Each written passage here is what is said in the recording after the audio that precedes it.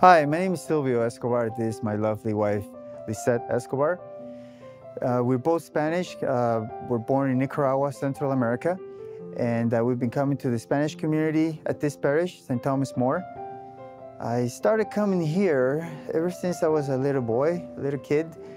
Uh, my mom, she's very religious, used to bring us here. Um, she took me specifically to a small prayer group, a charismatic prayer group. And I was in that group for about two years.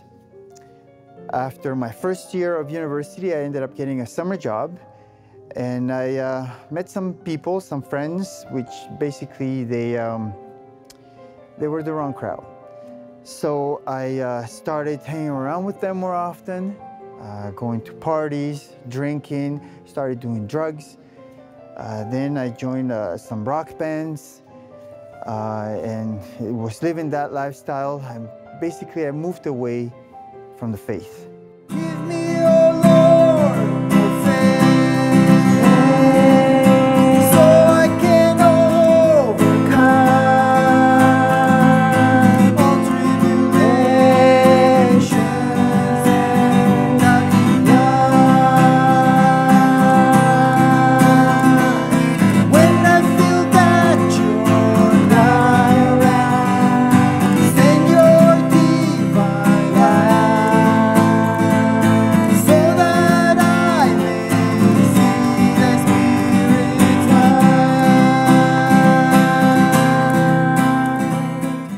At that point. Uh, I started being uh, thinking more about myself, being very selfish, uh, trying to pleasure myself uh, among all the worldly things out there. And I ended up getting a girl pregnant. Uh, we ended up getting married because I thought getting married was the right thing to do. So uh, it was through the Anglican Church, and um, but it didn't work out. The marriage fell apart. We got divorced, and I continued seeing my son. Uh, then I continued living my lifestyle, that worldly lifestyle, you know, seeking self pleasures, joining other bands, you know, um, drinking again, doing drugs again, hanging around with the with my old friends, partying again. And um, I think what really started turning my life around was a pilgrimage to Europe my mom and my aunt asked me to accompany them. Um, I think they just wanted me to help them with their luggage, but I didn't want to at first, and I said, fine, okay, I will come out.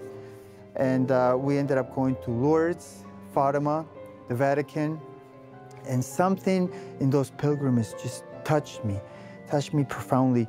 Um, being in front of the, the Virgin Mary where she appeared, and um, I, I just felt her presence uh, so many times uh, at the Vatican as well. It, it, moved me, it touched me.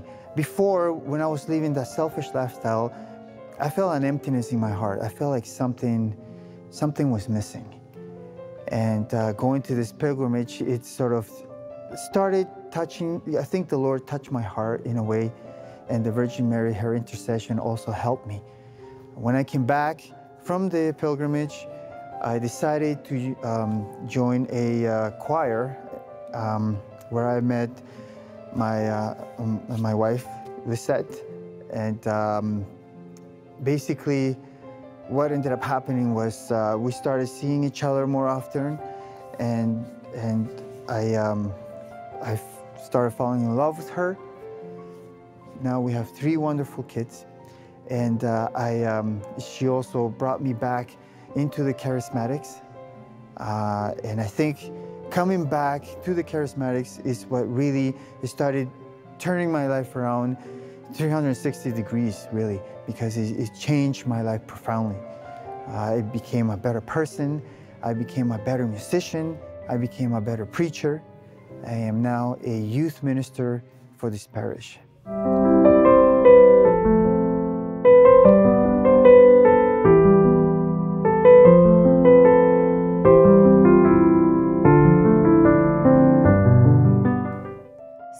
As my husband was saying, we re-encountered ourselves uh, while we were helping with the choir in Whitby, but I still kept serving in this Spanish community here at St. Thomas. I was doing First Communion catechisms, volunteering, and just serving the Lord through my volunteer and just serving Him through my community. I was in the charismatic group for a couple of years. Um, at this point, I was actually bugging Him to come and to join our group because we needed a guitarist. We wanted to establish a music ministry and I wanted him to be part of it because I thought that he was a good musician. And um, I was probably that annoying church girl that kept bugging him to come. And when he uh, finally said he was going to come, I was really happy and ecstatic because I thought that was going to really help our group grow. We were going to go away from listening to cassettes and CDs to actually having a live music ministry. And before this, I, my first encounter with the Charismatic Renewal was in 2005 back home. I went with my mom because my grandfather passed away. And my grandmother was actually in the Charismatic Renewal for about 35 years. And she had a prayer group there. And the first time I heard a charismatic prayer, I was actually kind of scared because I didn't know what was going on. It was quite frightening. But the one thing that stood out from that prayer was that my grandmother got this prophecy saying that she was going to go to faraway lands. And a year and a half later, she came here to Canada.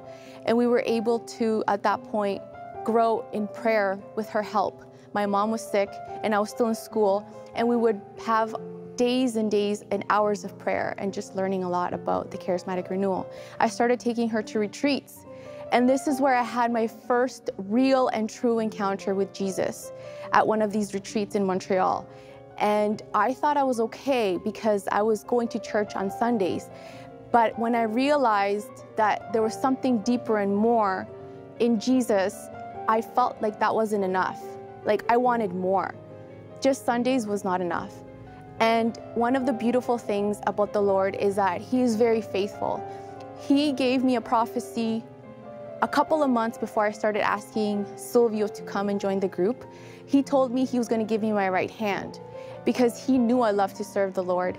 And when I realized that it wasn't just about in service, but also as a life partner, I was just so grateful with the Lord and I feel so blessed because I get to do what I love and I get to do it with my husband. And that's a real true blessing. And now we have our kids who witness us serving. We bring them to our prayer groups every Friday.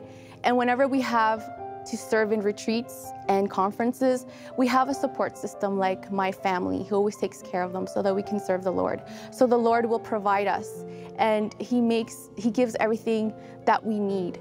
And so our house is always we're always praising the Lord through music. That is our true love, and I feel like that is a gift from the Lord. And we want to share it with people, and we feel like we're sharing it in our group. We are heading, currently heading the music ministry, and we also wanted to share a song that we wrote. Um, it's about faith. We wrote it five months ago. Silvio had a dream about the melody. And then when I heard the melody, I said, this song has to be about faith.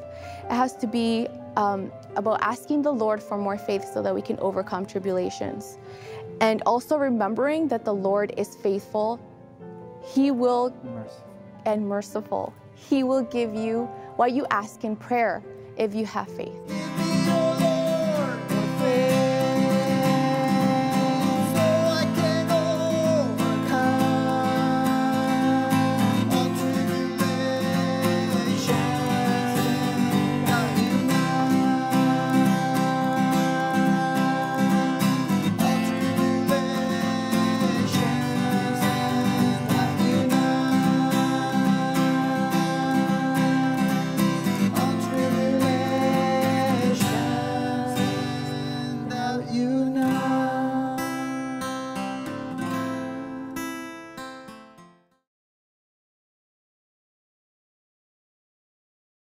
This is a wonderful way in which the Word of God is being brought to the people who need it most, that they might hear the truth, that they might be healed by the saving words of the gospel, and that they might be liberated and free to walk in a newness of life. I want to take this opportunity to thank all of you who support Shalom Ministry, and to all those who watch, that they might be carried by the Word of God and enlightened with the light of life. May God bless you and support you in every way. In the name of the Father, and of the Son, and of the Holy Spirit. Amen. God bless you all.